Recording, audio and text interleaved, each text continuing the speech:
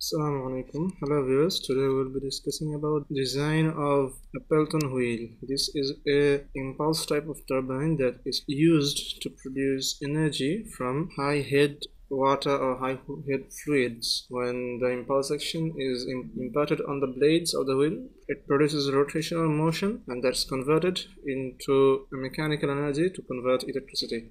And the input energy in, in this case is hydraulic energy.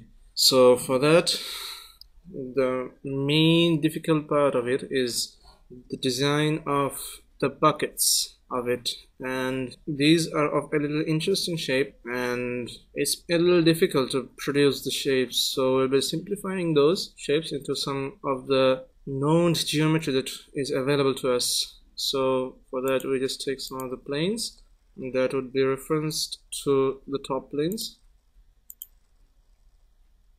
we take three planes actually.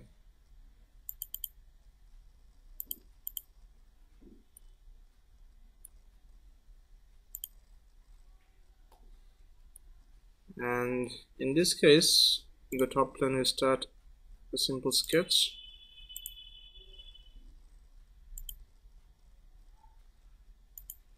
Produce a rectangle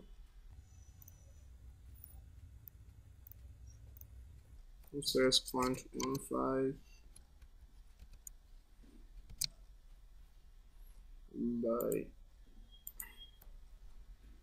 21 meters. Now we fill out the corners.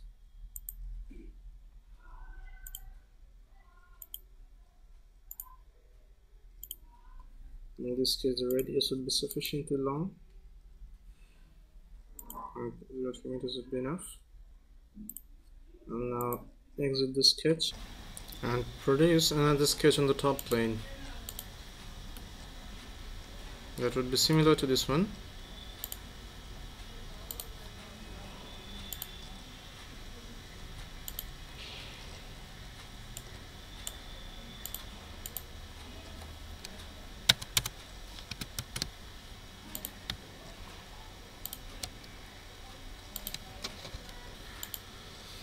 Similarly, we now fill up these corners. The radius would be a little smaller. Side's 0.015, much better.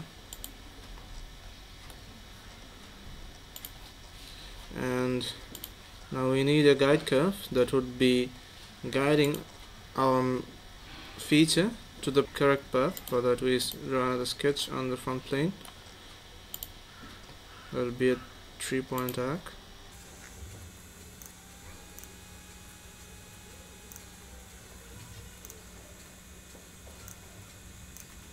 Our shape of the buckets will be going like this.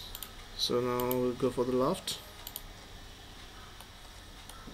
Shows the corresponding points that would be connecting. And choose the guide curves as these two curves and then go for the shell feature.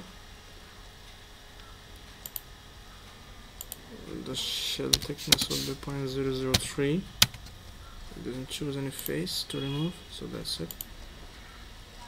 There is uh, one side of the bucket. Now we just mirror this thing out for that we would need another reference geometry.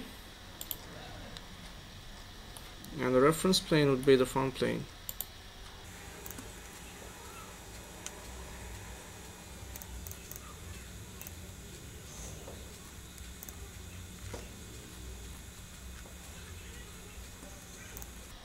just hit ok and just mirror this entire thing out.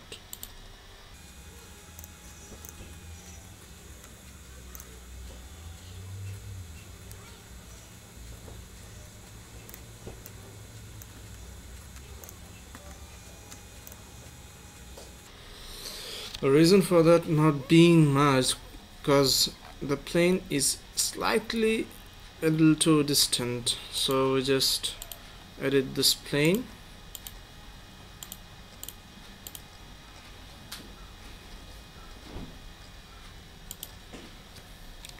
It's a 4-5.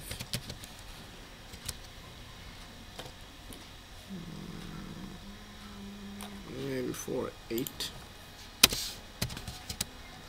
Much better as it would have to go through some of the thickness of this wall. So now we mirror it again. The plane would be this one and the body would be entire this one this would increase the thickness out here. That is necessary for the impulse action to be sustained. So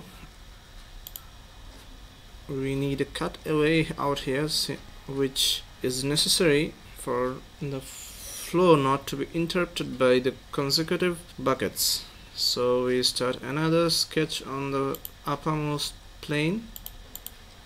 Make a center line. That would go through this line.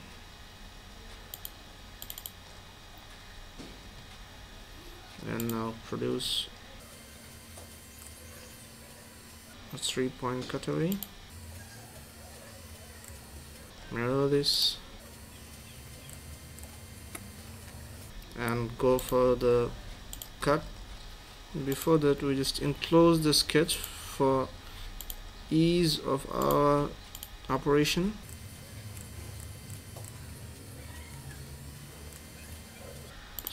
all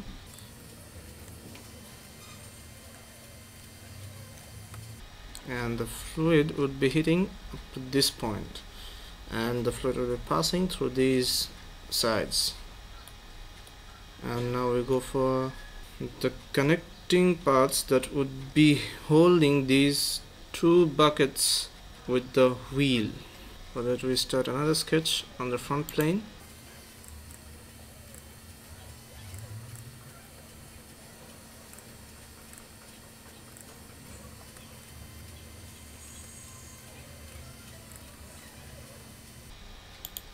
we need to be assured that everything is being in contact.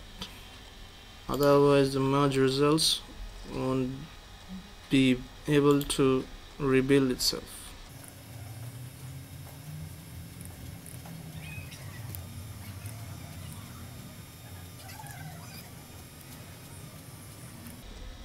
For three point arc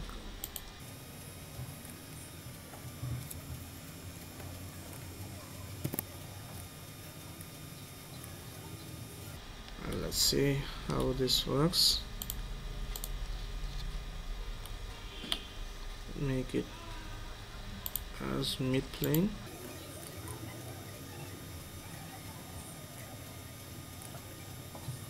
since it's a little too high we just edit the sketch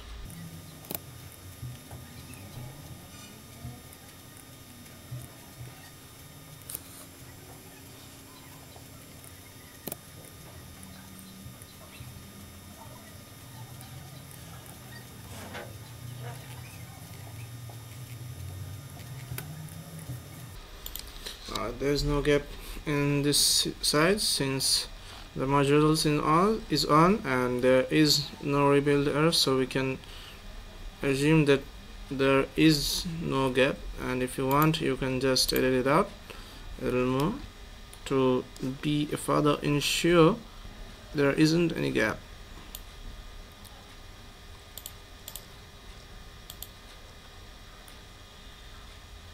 There much better. Now we just mirror this side to the, for that one as well.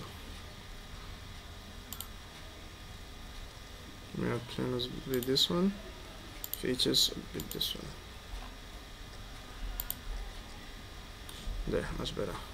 Our buckets we just hide all the planes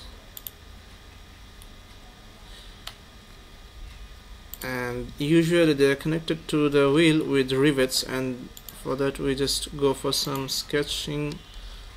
And this was just for the convenience we just go for this face and produce a sketch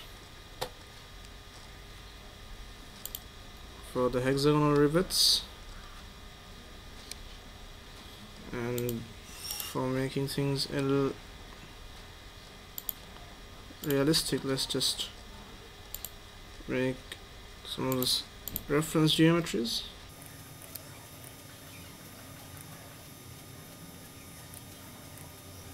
Mirror this about this line. And extrude them in both the directions.